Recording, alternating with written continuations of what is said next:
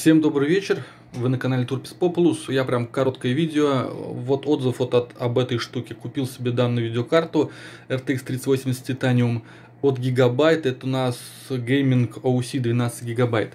Значит, читал отзывы в DNS, все пишут, что она греется, что все херово, все, короче, термопрокладки надо менять. Показываю, смотрите. Ну, во-первых, сразу, что в играх она бомба. Потом захотите, вот она стоит, Работает она в продуваемом корпусе, она одна у меня, как бы, ну, то есть, если она в открытом стенде, будет еще лучше. Смотрим, вот она майнит, а выдает она, давайте посмотрим, сейчас выдаст. Сейчас будет, вот, сейчас вам не видно, я настрою.